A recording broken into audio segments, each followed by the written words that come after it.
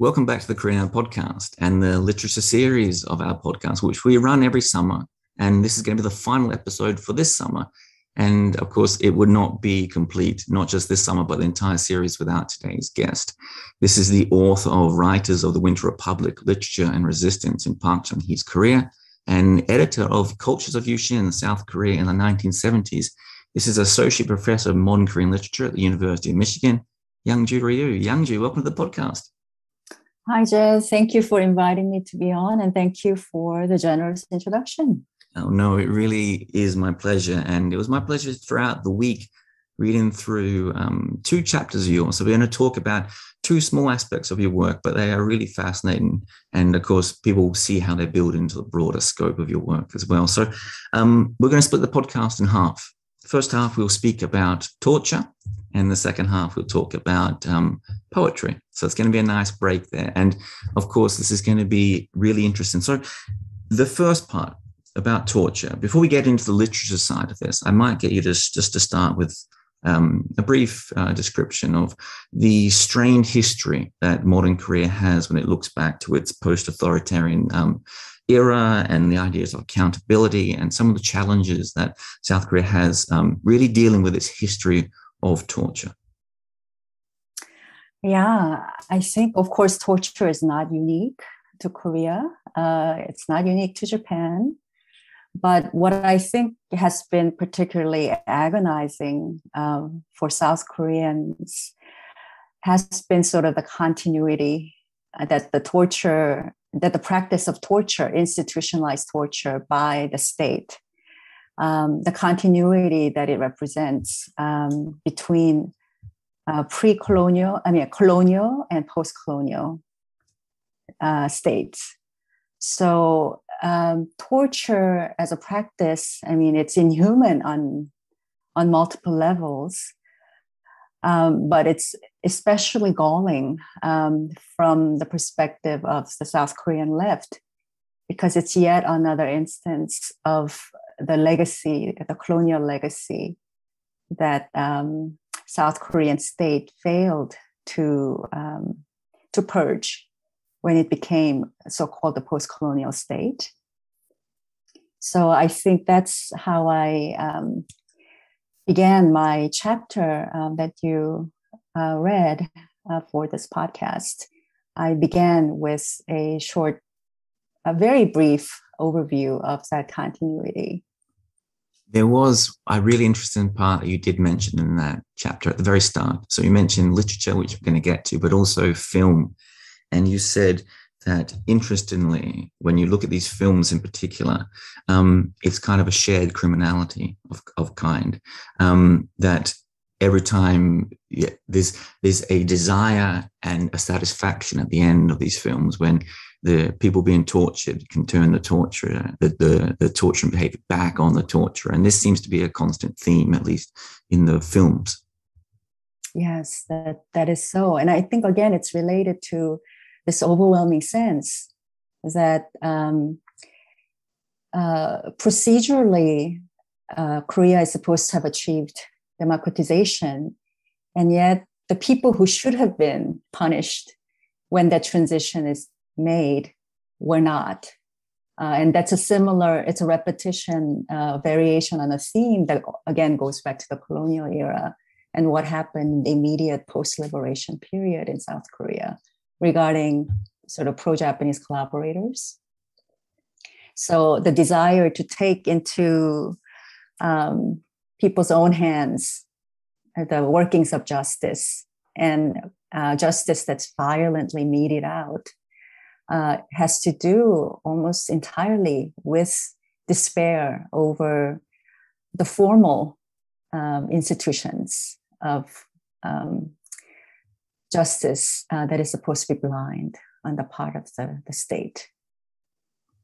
Let's talk about, um, as a first way to jump into this, because I personally found it most interesting. I'm not sure about yourself, but um, let's talk about the, the novel Ginger. And yeah. um, um, we have to mention that this, I believe that this is based on a, a real life torture specialist, Yi, uh, Yi Geun-an. and this becomes yeah. really important. So let's start with that particular novel because this is a fascinating look into um, not just um, the interesting topic, but um, it, it, it does say something quite important that someone can base a novel in modern day Korea on a torture specialist, and everyone know already know instinctively who that specialist was. Yes, um, and if um, if you let me, let me just say that when I was working on this article, when I began working on the article, the English translation of the novel um, by um, Bruce and Ju-Chan Fulton had not yet been published. Um, so, you know, I just went with my own translation, which is a literal translation of the Korean title. Okay, so Lee Geun-an is um, uh, the existing historical uh, person on which um, the major character of this novel is based. And he uh, was a highly decorated policeman um, who belonged to the anti communist operations unit. And uh, he was decorated multiple times uh, for his ability, uh, for his contribution to um, uh, anti communism in South Korea, uh, specifically by arresting and getting confessions out of people who were suspected of being communist. Um, anyone with even a modicum of knowledge about uh, South Korean history uh, during the authoritarian era knows that anti-communism was a very sort of broad umbrella, a net um, that the authoritarian regimes of Chun Doo-hwan and Park Chung-hee certainly used um, not only to catch uh, communists, but um, to um, you know launch attacks against their political opponents and um, to launch political operations. So um, yeah, Geun-an um, after a very prominent career in, in the police force, um, his sort of history uh, as a torture artist uh, came to light when um, the torture operations in this building in a, an area of so-called Namyeongdong came to light when a democratic democratization activist who subsequently went on to enjoy a, a very illustrious political career in post-democratization Korea, um, an activist named Kim Geun-tae um, uh, managed to disclose uh, what had gone on and what had happened to him during his days of uh, uh, confinement in Namyeongdong. And Kim Lee Geun-an was sort of uh, singled out as one of the torture specialists. Yeah, so uh, uh, his story is pretty amazing and stranger life uh, is stranger than fiction sometimes because uh, Geun-an was on the run and in hiding. Uh, after his case, he became sort of the face of the torture operations that the South Korean authoritarian government had going for many years. And um, he gave himself up only after the statute of limitations had expired on his involvement with Kim Geun-tae's torture. Um, nevertheless, he was still arrested because there was some other case uh, that uh, um, a lesser known case um, that he had been involved in that hadn't expired, and so he got booked on that uh, case, and he did serve uh, jail term. And he so he was one of the few uh, people actually who worked for the South Korean police, um, especially in this anti-communist communism unit um, as torture specialists who actually ended up, you know, having to pay in in in legal terms uh, with incarceration for what he did. Um, but the fact that he was uh, hide in hiding for so many years And when he was finally caught, it um, it came to light that he was hiding uh, in the attic of his house the whole time. Um, so that became also kind of sensational. Um, and I think the author Chun Woon-young uh, took that story of Yi Geun-an and was so affected by it um, that she wanted to write a novel about it. And of course, she introduced some major differences um, from the actual event and the actual story of Yi Geun-an's hiding that allowed the tale to be told in a very different way. And in my chapter, I focus on how the tale uh, of Yi Geun-an's uh, hiding goes from, um, I mean, becomes, is transformed into a daughter's tale. Let's um, let's jump into that for a bit because um, really interesting point here. You write um, that the language in in this tale is really quite interesting, especially when you contrast it with other um, novels that that that depict torture at the time. So you write that it's quite lyrical, and when they when she writes about the body and the pain, she does so with an almost erotic tone to it. And this you write is quite different to other novels such as The Red Room or The Road to uh, Chonma Tomb, where this is quite different. Um, a really change and in not just in tone, but a change in the literary landscape in some way, and just um, how this works. So take us there. Why is this so interesting? Why is, why is this so significant? What is she trying to do here? Yeah, so you know, it's my, of course, interpretation, and um, I haven't checked it with Chun Woon-young, but I feel like what's what what ends up happening uh, with this new mode of language that she introduces in in the way she engages with torture. Um, in the chapter that I uh, in, in, the, in this chapter, I talk about three distinct modes uh, testimonial, I call them testimonial, uh, allegorical, and parodic. And for the most part in literature, torture has been a theme and a subject in the testimonial mode. And um, what happens in the testimonial mode often is the violence of torture and the absurdity, inhumanity, and brutality of torture is really highlighted uh, in terms of the way just everyday people, like regular folks, could engage in torture with without skipping a beat, without having it weigh on their conscience. And you know, they're just regular fathers, they're good men, you know, they're responsible citizens and they go to work and then they beat the sh- shit out of somebody or bring somebody close to uh, his death right mm-hmm. um, so that's the testimony that's the major sort of uh, mode of representation in the testimonial literature about torture i think this novel ginger does something very different by eroticizing uh, and lyric and and and aestheticizing um, the practice, uh, what it does is it kind of maximizes the, um, you know, what I call the standard of energy surrounding the uh, the torturer, the, the father figure, uh, so that he emerges not as you know your your Joe Schmo, your everyday um, John Doe, you know, just working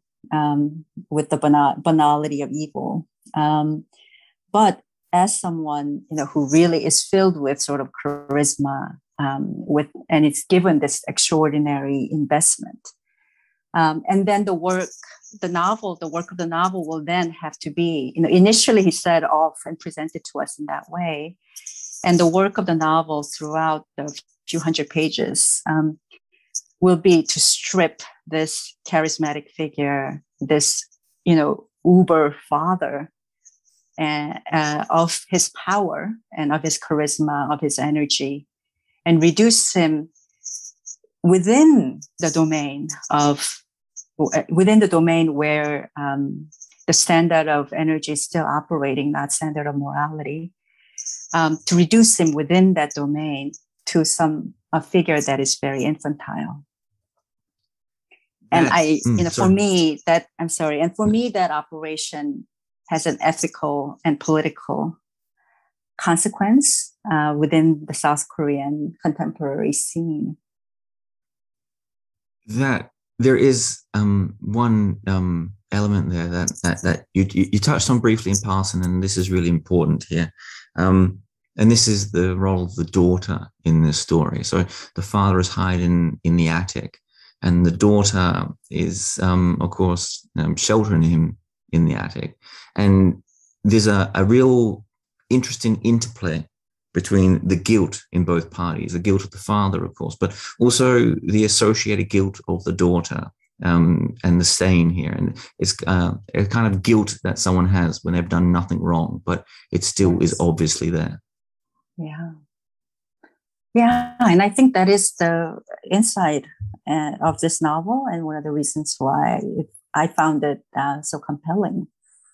Uh, on the one hand, I mean, you have the juxtaposition of the father and daughter, and the juxtaposition is physical because literally, um, in a in in real life, Yi Geun-an was supported by his wife. Uh, in the novel, the wife figure is sort of taken out of the picture relatively early, and the daughter becomes the guardian of a father in the father's hiding. And they're physically together with just that, um, you know, uh, the father's floor being the daughter's ceiling uh, because he's up in the attic.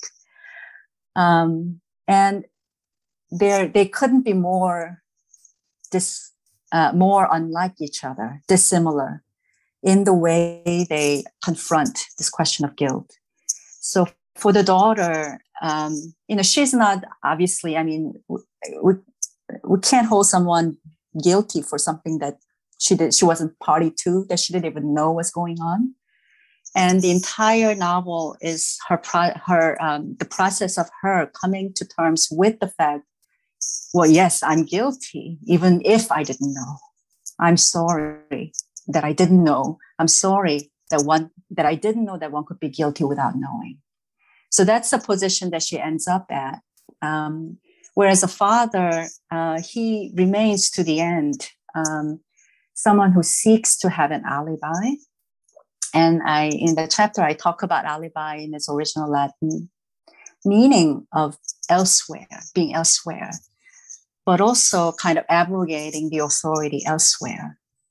So then, um, you know, I was doing my job. I was, uh, you know, um, being, I was being a patriotic citizen in this um, divided country, South Korea, with the northern half threatening our security. I mean, that's that's the alibi that's um, basically been in operation for the anti-communist uh, unit and for the torture, uh, the secret police torture um, cells. And so he he kind of holds on to that and clings to that even more tightly um, so to the very end, he he is unable and refuses to emerge as a subject, a subject who can be guilty, uh, because you know the decisions um, that shape his life originate from outside of him, from elsewhere, and that's his alibi.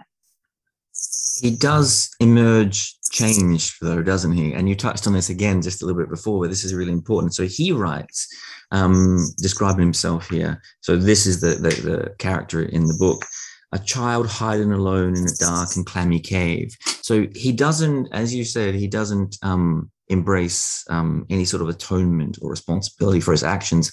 But importantly, the author does write him dramatically changed, rem- emerging uh, a shriveled version of himself, his manhood gone. Everything is just uh, um, uh, so there is a, a, kind of moral reckoning of a kind, despite the fact that he's never um, atoned for his actions or claimed responsibility. Yeah, and so I, I I would agree with you there, Jed. I mean, what happens because he's initially set off uh, and the language, I mean, what I call this language of plenitude um, about his power um, locates him within a domain, within a realm where the standard is of energy and not of morality. Then at the end, he's completely without power. I mean, his, his muscles have atrophied. You know, uh, his, uh, his daughter buys him shoes that are too big uh, so that he even there even his feet are no longer are much smaller than they used to be or at least that's the experience he has and he's kind of really regressed uh, over the over the course of the novel to the point where he does. I mean, he is shriveled up as an old, older man, but he's also infantilized. And then he talks about the mother's womb, the attic being the mother's womb, etc. Uh, and so, according to that standard of energy, uh, you know, he has just he has lost he has lost the um, completely disempowered, and because he he will not emerge as a subject and occupy a, a different plane where you would have a different uh, form of reckoning, um, the standard of morality. You know, that's all he he is is just a pitiful shell at the end without um, uh, well there's no redemption for him mm. let me put it that way it, it, it does because he never does um, claim any redemption or any responsibility um, it, it seems to be a very interesting statement on on Korea's past in some way. So you had a quote there, and he said, "Torture is patriotism," and of course he emerges um, uh, fairly unrepentant, um, nonplussed about what he's done, and this seems to be a very strong statement about um, unthinking loyalty, and that was one of the, the one of those um, this authoritarian era that we're looking back to. So many people, so many mistakes were made in this idea of you're doing it for your nation. Yeah, but I think you know the reason why also that I'm interested in this question and the reason why I think Chun Woon-young's novel is so um, insightful in some ways is the interplay between sort of the standard of energy and standard of morality in the way they um, interweave and structure the contemporary Korean political terrain. So, you know, you have a lot of people um, when I mean, you have supporters uh, of the Park Chung-hee regime, let's say, when pressed on this question of, but you know, Park Chung-hee killed these people. I mean, think about uh, you know the People's Revolutionary Party. Think about his political opponents whom, whom he uh, executed. Think about um, all of the you know laborers um, who um, uh, who, were, who were persecuted um, under his dry economic drive. Um, and how immoral is that? When pressed with that question, you have a lot of Koreans who would say, well, Korean situation after the war and after, you know, um, um the uh, unsuccessful sort of reconstruction in the 1950s uh, was so uh, so exceptional, exceptionally poor, and exceptionally destitute that you couldn't apply that kind of you couldn't do things regularly you couldn't do things humanely you couldn't apply the morality uh, standard to the korean case and so then they uh, you have people who would say well dictatorship was necessary uh, in order for us to get to where we are um, and there they really apply the standard of energy and Park Chung-hee is someone who got things done. He was a father figure. He was a patriarch for the nation.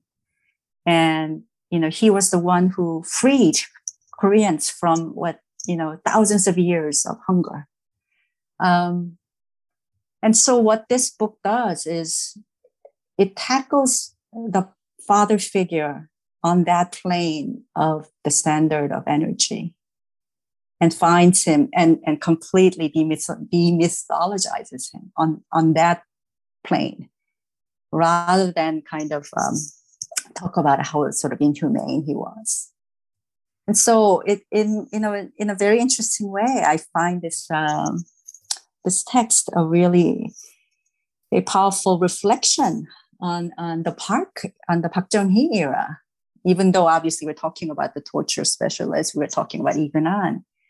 But when I was writing this chapter, I really had in mind this question what if Park Geun-hye, the daughter of Park Chung-hee, dealt with her father's legacy, the mad father in the attic, as mm. Sun in the in this novel did.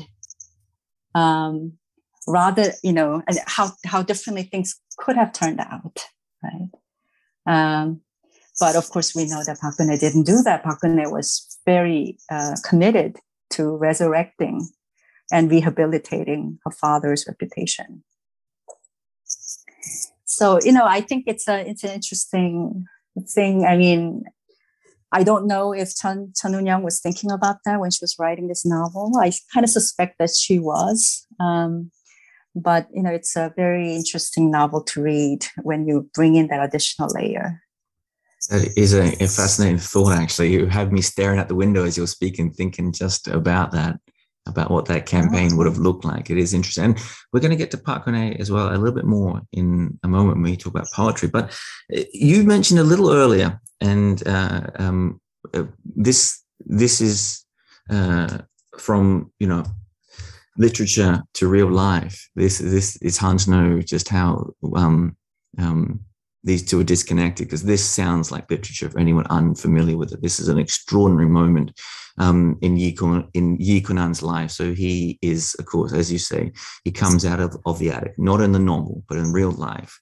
And he has this extraordinary meeting with Kim, tu, uh, Kim Tun Hee, um, uh, the who is now Minister of Health and Welfare in yeah. the in in the government. And the yeah. story goes that he falls onto his knees and he begs for Geun-tae's uh, forgiveness, who he had tortured himself. And then the two men embrace, or did they?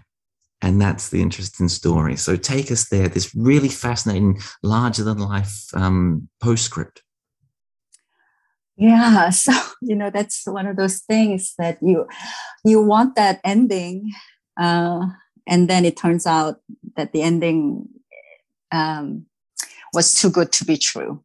Uh, so you know, I mean, Kim Gun Kim Geun Tae, uh, after um, well, for Kim Geun Tae, his sort of past as a democratic democratization activist becomes a real capital, political capital.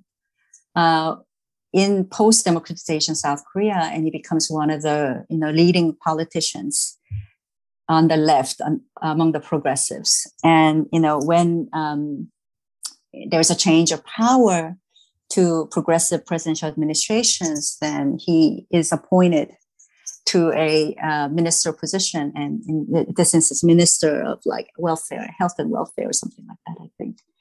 And he visits Lee in the prison and you know the press follow him and basically the scenario that they want to pursue is Lee uh, you know, asks for Kim Geun-tae's forgiveness, and Kim Gun-tae gives it, and they embrace. And basically, where Korea is now ready to move forward from its sort of authoritarian past. Right, we can put that behind us with this forgiveness, with this with this apology and forgiveness. The problem is um, basically, uh, Lee Geun-an, I mean, to the extent that he gave his apology, he reneged it, reneged on that apology later. And Kim Geun-tae too kind of had second thoughts about what that meeting was, whether you know a genuine apology had been given to him. Um, and so both Lee Geun-an and Kim Geun-tae kind of revised the version of their meeting that was already circulated in the press and sort of celebrated as a moment where South Korea, I mean, where these two men could go beyond their past, and then they, of course, become allegorical for you know the country's sort of uh, suturing of its past wounds. Um, and Geun-an, uh, you know, ends up. I mean, it's it's a yeah, it's a really infuriating story, but also really fascinating because Lee Geun-an ends up um, finding God, right, in, in, in prison. He becomes a minister, I think, after he, he leaves, um, after he finishes his sentence. Uh, and then, you know, gives series of interviews where he totally just revises, you know, how, what, what happened in this meeting and how, you know, and again, reneges on his apology and remains, you know, unup- unapologetic um, for what he's done. Um, so, you know, how do we, yeah, how do we square that, right, with uh, with a desire to kind of move move forward and put the authoritarian past behind uh, us in South Korea? And you know, that is not unrelated to um, the you know Lee Myung-bak and Park Geun-hye presidencies that followed, Kim Dae-jung and Roh Moo-hyun presidencies. You know, I remember when Roh Moo-hyun uh, came to power. Um, you know, it was really one of those things where you felt like, okay, yeah, now we are on this this path forward of quote unquote deepening democracy, and well, you know, the, it'll never turn back, right? Uh, and you know, I mean, yeah, um, well, I don't want to diverge, digress too much, but um, suffice it to say, another candlelight revolution or candlelight protests uh, waited was waiting in the um, around the corner. Mm. so yeah. I really hope you're enjoying this episode of the podcast, and I apologize for this interruption. But I'm just going to take this moment to remind our listeners that we've made a conscious decision here in the Korea Now podcast not to run advertising in any way. So if you do enjoy the podcast and you listen regularly and you do want it to continue, it is important that you do your best to support us at the links below or by sharing, liking, or commenting on the podcast across social media. All your help in this regard is invaluable. And now back to the episode. Um, that is probably a good note to move on to the second part of our right. discussion. Um, and um, I, I, might just start here. And a lot of people are not going to be that familiar with Korean poetry or the period. So, just briefly, who was Kim Chi Ha?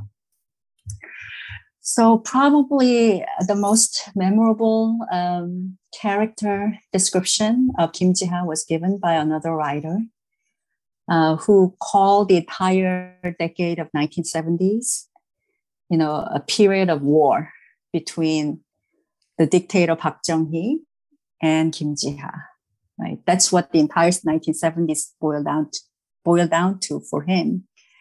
Um, Kim Ji-ha was sort of the great dissident poet of the 1970s. Uh, he was imprisoned uh, almost for, for most of the 1970s um, and released only after the assassination of uh, Park Chung-hee. Uh, he was uh, famous for writing a satirical poem satirizing uh, Park Chung-hee's uh, administration um, and uh, was on death row at one point, and he became a cause célèbre among you know writers all over the world and intellectuals all over the world. Um, people in Japan, in the US, you know, in Germany, they signed, signed petitions for his release, etc., etc. Uh, and he ended up winning uh, the Lotus Prize, which is the proverbial sort of uh, Nobel Prize for the third world. So yeah, a, he was a poet. Uh, he was also um, a a playwright. Um, uh, but you know, he was also uh, as as as a poet and as a playwright, he was also persecuted by the Park Chung-hee government. So he became sort of the dissident poet exemplar in the 1970s in South Korea. And interestingly, I, I, might get us to hold our fire on this one, but such an interesting character. And this is your quote here. He was a martyr who outlived martyrdom, uh, a an old, I'm going to quote here, an old icon of resistance chumming up to the daughter of the one of, of the man he'd once called a fascist. Um, this is to, so I might get us to hold our gunpowder on that change and just stay in the moment because this is why his story is so fascinating. So um, you speak about a, a, a, few of his works, and I might just jump into the first one here, and we can begin to build this up. So I think this is most um, famous work. I'm not sure if that's correct, but this is satire or suicide, and it, for all its importance, you're right. It's also um, a piece of faulty memory of a kind. Yeah, so I mean, I would say Kim Ji-ha's most famous piece is probably not that piece, mm. uh, but something called Five Bandits, or Ojok, which is a long poem, and it's most famous because he got um, he went to jail for it. Um, but this piece that I write about in the chapters, uh, suicide or satire, is uh, an essay, literary essay, a piece of literary criticism, and in it, he cites a famous poem by another Korean poet the original title of that poem was Satire or Transcendence or Deliverance, and Hetal, which is a Buddhist term for release from the cycle of rebirths, um, the samsara. Um, and then Kim Ji-ha misremembered that title and remembered it as satire or suicide. And so his article, the title of his article became satire or suicide, not satire or transcendence or deliverance. And let's get into some of the language here of, of, of what he was pushing and why he was such a significant poet. Um, you're right. And again, this is important. He organizes, at least through his literature, um, a, a, a, resistance of sorts around around this idea, which I've mentioned in other podcasts, but I might get explained briefly as well. Um, Minjung, Minjung ideology, and it's not just a call to. Um, he doesn't just make this call to the um, average workers on the streets and to their traditional way of life and to ordinary modes of life, but he also takes a call towards traditional Korean life. So he bring he tries to reinvigorate um, old past not old pastimes, but old, old uh, traditions like pansori. Yeah. So Minjung, uh, which is a term for the people, but with a connotation that these are people who are oppressed um, by you know the powers that be that term becomes sort of the rallying cry for the anti-authoritarian resistance, especially in the 1980s. It's in the name of the Minjung, the oppressed masses, that um, they become the subject of history, new history in the 1980s uh, dissident movement. And you're right that Kim Ji-ha was one of the first people to really link sort of traditional uh, Korean arts and traditional literature and performances, and um, figure uh, that really populates um, the traditional folk aesthetics, kind of lifts it out of uh, that configuration and uh, links it to um, this politics of Minjung that will unfold, you know, in a major way beginning in the 1970s, but it, it, it becomes much more of a significant movement in the 1980s. Um, let's talk about part of that title, suicide. So, um, of course, uh, po- po- poetry and suicide seems to go hand in hand, not committing it, but the act um, and the discussion seems to be important. And um, importantly here, um, he, he, of course, he speaks about this and he speaks about it in, in, in these wonderful lyrical ways. But um, he I, I, I, I missed this. I should have asked in the last question the importance of, in, in the last section, the importance of sometimes what suffering can do for a movement. And there's this moment of um, this young student, uh, Park, Park Jong-chul, who was drowned when he was tortured. And it, it, it, becomes this huge spark, this huge moment in 1987 when Korea refines its, uh, the Korean resistance movement refines its feet and makes that final push. And in this particular context, um, suicide this time, there's these two incredibly prominent suicides in, I believe, the 1970s, um, Chung, uh, Chun Tae-il and uh, Kim Sang-jin. And they play this heavily outweighed, really important um, um, kind of uh, momentum in the resistance against uh, authoritarianism. Yeah, and they are really uh, sanctified and sacralized in um, the anti authoritarian and pro democracy movements thereafter. Uh, Chun Tae-il especially becomes like one of the progenitors of the labor movement in South Korea. So suicide entered um, what you know um, what has what sociologists have have referred to as uh, repertoire of protest um, in a major way in South Korea in the 1970s. Also, in the language there, I, am I'm, I'm going to think of a, a, a poem here. Um, I think it's Ko Un writing about Kim Ji-ha, And when the discussion of, of suicide comes up, the language often changes, the individual disappears. Instead, we're talking about we rather than you and I. Yeah. Yeah. I mean, this, the martyr uh, becomes a figure and a cause. And around that cause, a collective community can can aggregate um, and be you know galvanized. So um, you know Chun Tae-il, the garment cutter uh, who put himself you know on fire in protest of the labor exploitation in um, Park Chung-hee's uh, rapidly developing South Korea.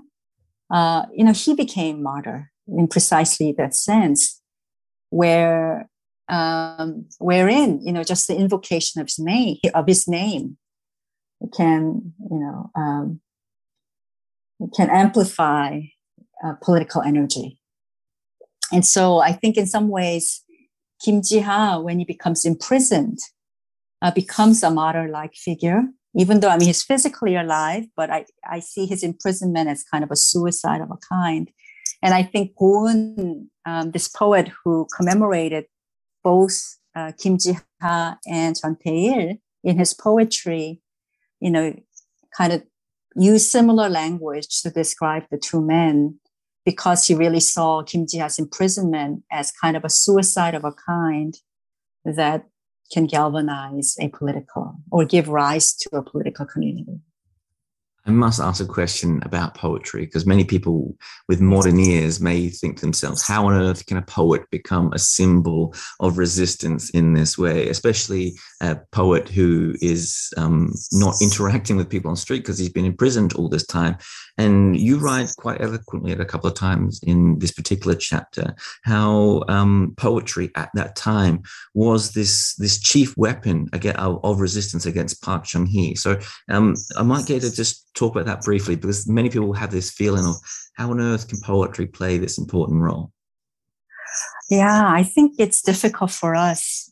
Uh, in, in, well, maybe not so difficult after the inauguration of uh, Biden and, and the, the searing, the stirring, searing words uh, uh of poetry uh, at the inauguration. Um, but I mean, certainly, like let's say, you know, at the turn of the turn of the millennium, millennium, um, it's kind of hard for us to imagine like poetry kind of having any kind of political um, power.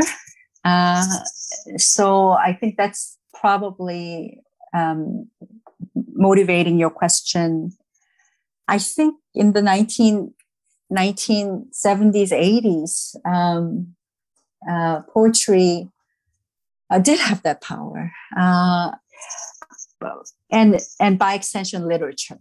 And i mean I, this is a subject of my earlier book writers of the winter republic. But i mean in i for me i you know i argue that when you have such heavy censorship uh, literature becomes at last you know the final bastion right?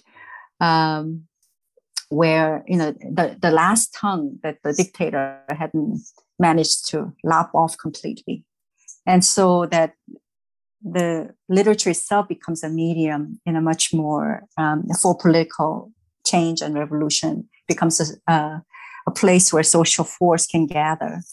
Um, and you know I, that's how i understand literature in the 1970s in, in south korea.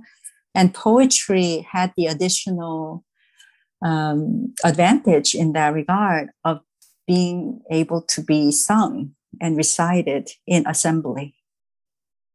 Um, and so you had, you know, many, especially after uh, Kim Ji-ha was in prison, you had these like nights of literature, Kim Ji-ha 문학의 밤, or um, nights of Kim Ji-ha literature, or nights of uh, literature of, you know, prisoners, um, where, you know, this, the signature event was recitation of songs and poems um, sometimes by the poets, uh, writers who are in prison, sometimes in honor of, of them, as we saw with Ko Un. And there are very interesting kind of records of these events where um, you know, people would say, you know, I would I would read that poem on paper and think, eh, meh, you know, eh. And then I would go to this rally or Munagepam or this service or whatever assembly happened to be taking place, and I would hear that poem being recited, and it would be electrifying. And it would have power that I just didn't see, you know, when I was reading it on paper. Um, so you know that i mean i i, I would say in the 1970s uh, in korea poetry had that additional element uh, of being able to be deployed as part of the protest repertoire. Now as we get into the turn and the interesting turn that happens in kim ji-ha's life uh, I, I, should get you to explain the political context here because um, as I, I, think we, we touched on just briefly, 1987, June 1987, the democratization movement comes to it, its its its own. There are uh, these important suicides and um, this torture that we've touched on as well. And then in 1988, they have the first democratic elections inside South Korea. Um, the two leftist candidates, Kim Young Sam and Kim Dae Jung, they they split their votes. So we get another conservative. Um, uh, Roh Tae-woo comes back to power, but it is still a democracy. And yet in 1991, these um, suicides and self-immolations start up again on the streets. So before we go back to Kim Ji-ha and the change in his mind and his uh, opinion within South Korea, uh, let's talk about the political context and this change that happens on the ground. Yeah, so you know, 19 uh, the election, presidential election in 1987, uh, that occurs after um, after um, Chun Doo-hwan, the military dictator's handpicked successor, Roh Tae-woo, upon the pressure of the June democratization movement of that year, uh, declares that you know he he will uh, sit uh, and he will run for presidency in a direct election. And for years now, uh, South Korean presidential elections have been indirect uh, they were called stadium elections because they were essentially rubber stamping sessions for whomever the dictator, you know, or the um, the military regime had put forward. Um, so basically, it's a huge victory in 1987, and it's a victory that comes about um, through the deaths of uh, young people and student activists and labor activists. Um, but it's it's a victory that ends up becoming really anticlimactic because as jed you mentioned both of the opposition politicians candidates run and they end up splitting the the vote. And then Roh Tae-woo, who who would have been who was the handpicked successor of the military dictator Roh Tae-woo, who was also a military general uh, himself uh, he ends up becoming the president. So now after, presidency is marked by this odd tension. On the one hand, we have still in place a military dictator, but he was formally elected, procedurally elected, democratically. Um, and that tension, I think, manifests itself in a number of different ways, um, including relations with North Korea, which is not part of our conversation today. And basically, what happens is um, activists, student activists uh, who are very dissatisfied with this result, uh, find themselves um, being more radicalized and also fewer in number because a lot of the middle class, a lot of, let's say, the, the white collar workers who had supported this, the shift, the end of military dictatorship, and who supported the shift to direct presidential elections are saying, well, yeah, we did it, and that's now in place. We now have procedural democracy, but that's good enough for me. And they they don't they don't want to continue to have this kind of really chaotic and massively charged, violent political environment. Mm-hmm. Um, and so then I think those who do continue to remain uh, within the dissident resistance circle then are finding themselves uh, or um, becoming within the, their smaller circle, finding themselves more radicalized. And you know, one of the one of the tensions um, then um, erupts in this series of suicides uh, that sweeps across the country. Suicide, suicides generally of young people, university students, even high school students, uh, activists, organizers, labor organizers, etc. And that that happens in 1991. And then there's this extraordinary moment when the activists, the resistance fighters on the streets, um, they turn and look to their old icon, their old um, person who they drew so much inspiration from, Kim Chi Ha. And he re enters the stage and he looks back at them. And I think you write like uh, a, a teacher scolding a student.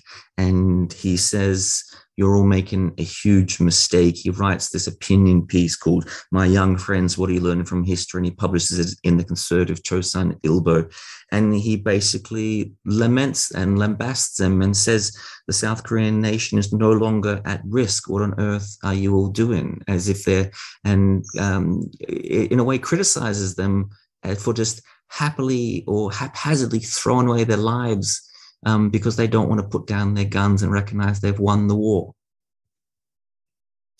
Yeah, and there, I mean, that's a very painful moment in the history of South Korean uh, for the South Korean dem- democratization movement, uh, because it's the moment where you know they have to confront um, or the icon, um, mm. their idol, falls off from the pedestal. Right?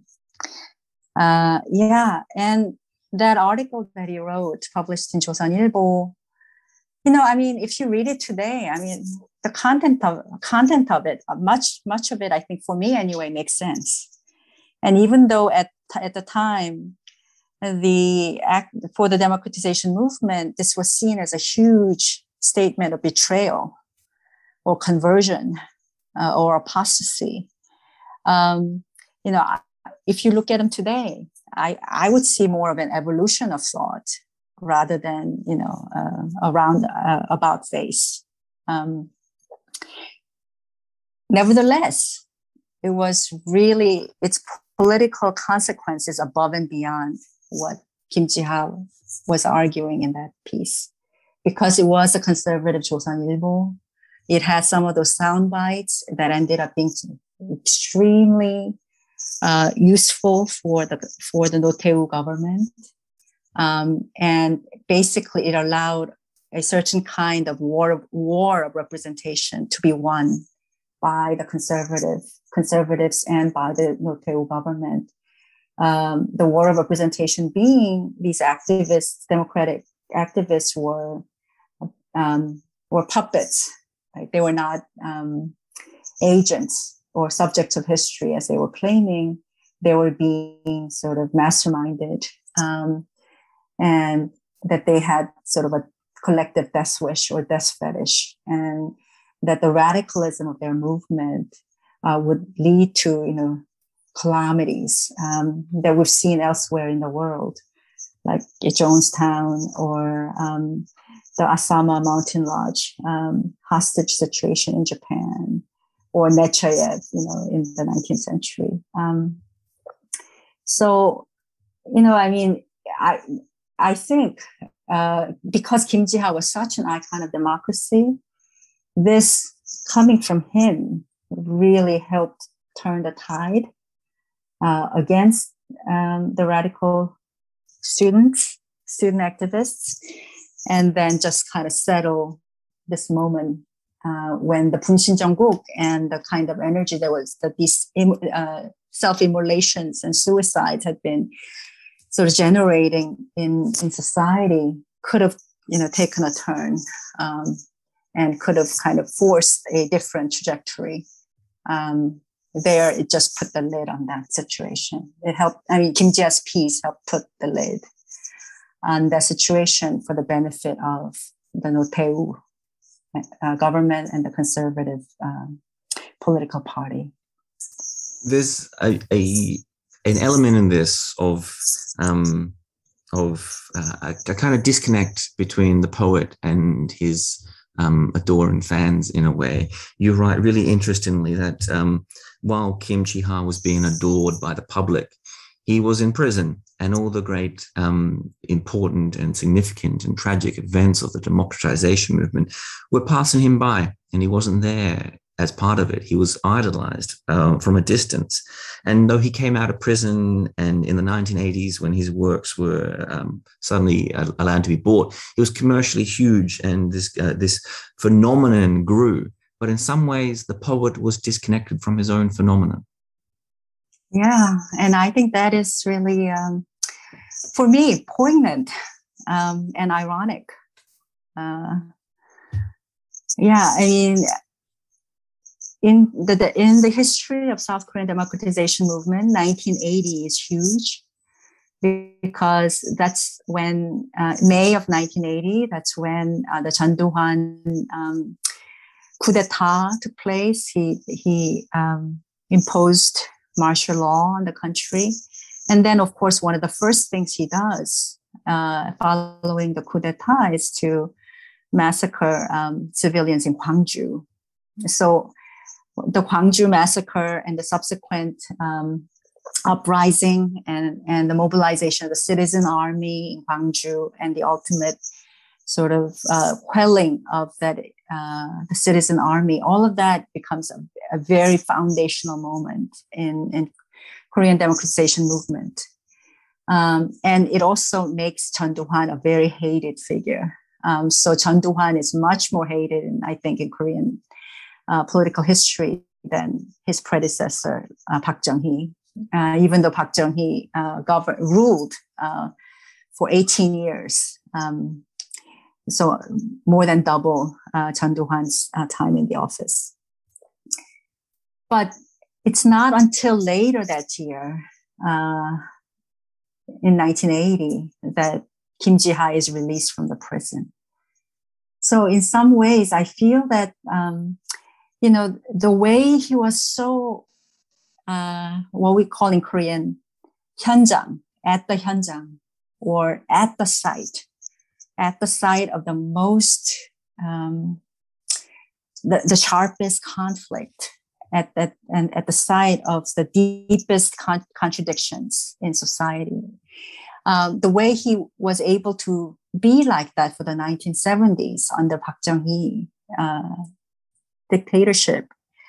Uh, I think he just didn't have his footing for Chun Doo-hwan. Uh, he was not at the site. And then in, in the prison, uh, really, Kim Ji-ha had become kind of transcendental in his orientation.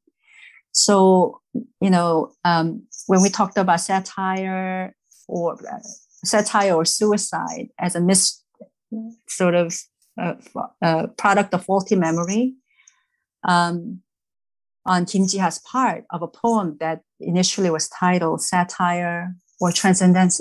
Transcendence.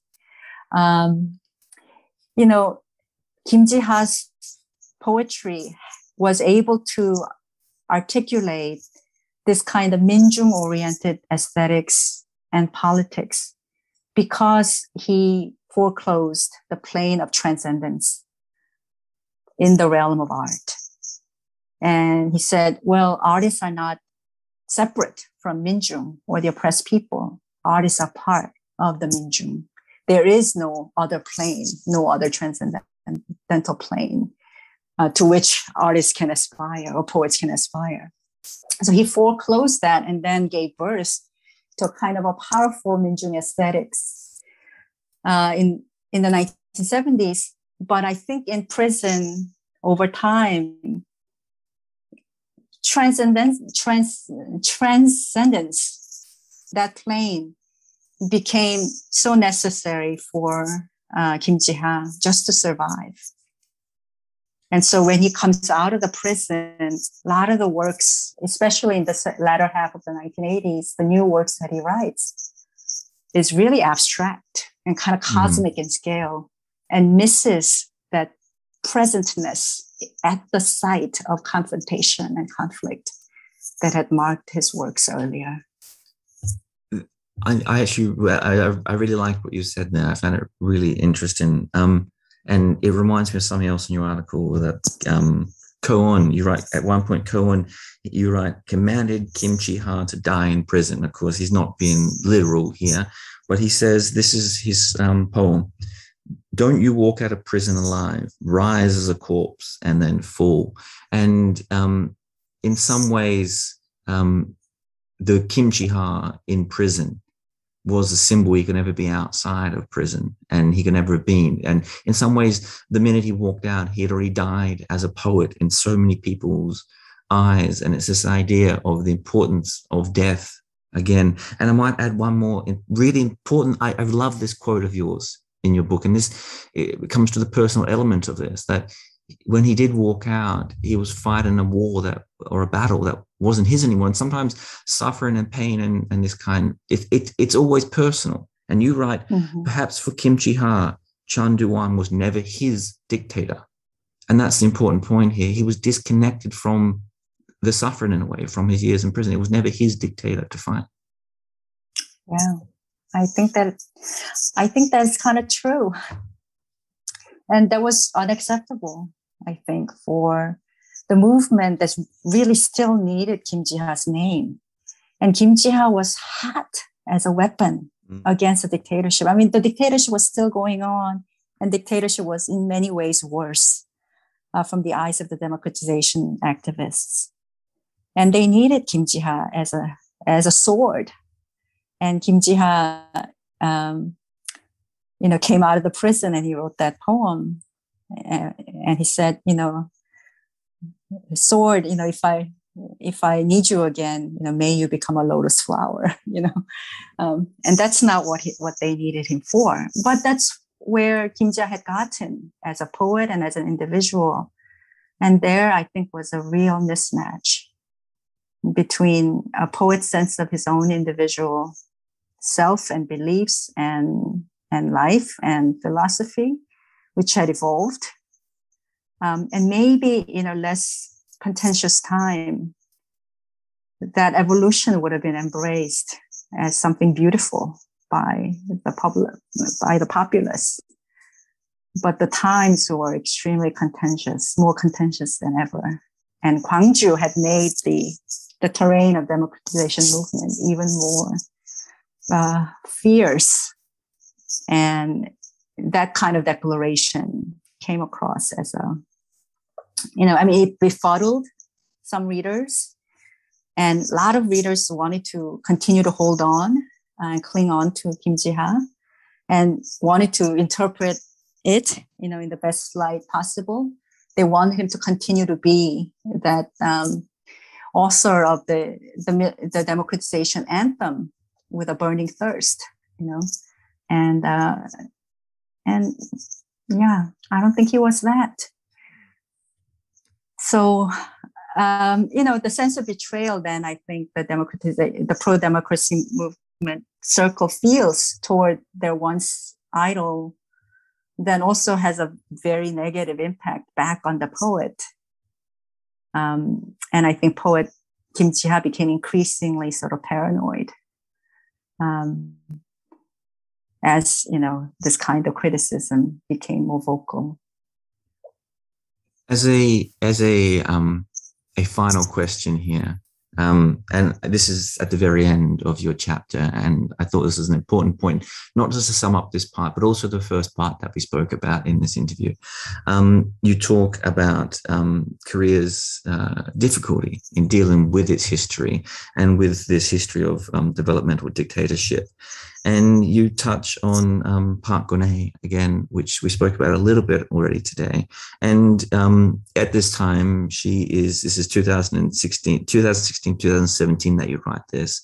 And you say that she is being impeached and um, perhaps there is, um, I might quote you actually, following the dramatic sequence of events of 2016, 2017 that impeached Park Geun-hye and put her on trial, dare one hope that the impasse has finally been broken.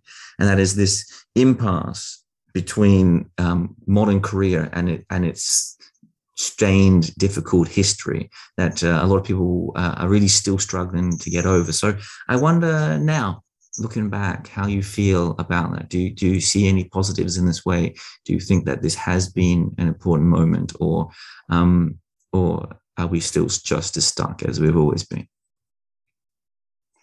Yeah, so you know that's a really great question. That's also very difficult to answer. There's, um, you know, Koreans are fond of saying that politics in Korea, in in in Korean politics, one month is like a year. Uh, meaning that it's incredibly like within one month, like things can happen um, that you would, would not expect to be able to. You would not expect an entire year to be able to contain, right? So I would say that that is really true. I mean, today, just yesterday, all kinds of news um, headlines, um, uh, you know, heralded sort of a possibility of uh, reform uh, of the prosecution service in Korea, which is one of the um, legacies and residues, remainders of the authoritarian era. Um, so you know, I mean, if you had asked me uh, when I was writing this article, I think in like 20, 2018, 2019, I think I would have, uh, you know, unequivocally said, yes, I, I do hope. I dare to hope. If you had asked me in 2020, I think I would have said, and then earlier in 2021, I think I would have said, oh my God, you know this um, the establishment is just really difficult to reform. And the authoritarian legacies are extremely extremely stubborn uh, and deeply ingrained in korean society. And the candlelight you know the, all, all of the optimism that the candlelight protests generated are kind of turning into like despair um, i would have said, said that in 2020 uh, and then in early 2021 uh, today, I don't know. there seems to be yet another turn and a fork in the road, and just it's very difficult to for, foresee. There's a Korean election, presidential election next year. A lot of it, a lot of what happens thereafter will depend on the the outcome of that election. But you know, one thing that I think um, I do feel now is you know, I think there there are times when um, toward toward democracy, you know, uh, South Korean society has moved, um, taken let's say two steps forward and then one step back. But there are times when South Korean society took one step forward and two steps back. Um, but over the long over the long haul, uh, if you take long view of things, uh, you know, it, it really is a very remarkable story. And so, and it's a story that I think Koreans, South Koreans are very justifiably proud. And so now I feel that there is enough of um, the Korean public that takes pride in that history um, that it would be very difficult for um, things to go back into the dark cave again.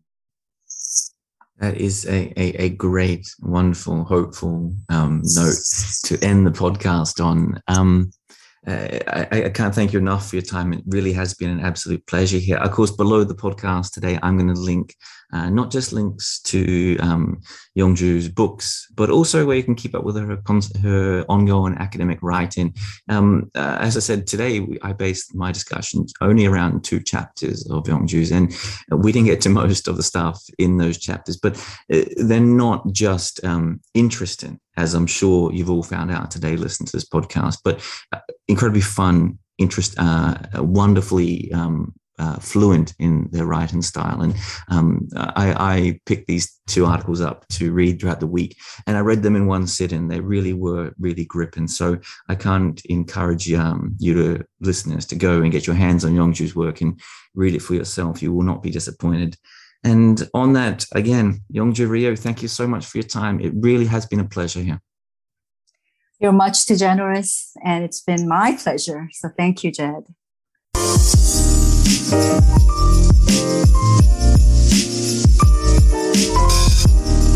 Thank you for listening to this episode of the podcast. I really hope you enjoyed it. This is just a final reminder that we've made a conscious decision here on the Korea Now podcast not to run advertising. And so the podcast is entirely funded by you, the listener. So if you do want it to continue, please consider supporting the podcast at the PayPal or Patreon links attached below. Or importantly, you can share, like, or comment on the podcast across social media. And on that, I hope to see you again for the next episode. Thanks again for listening.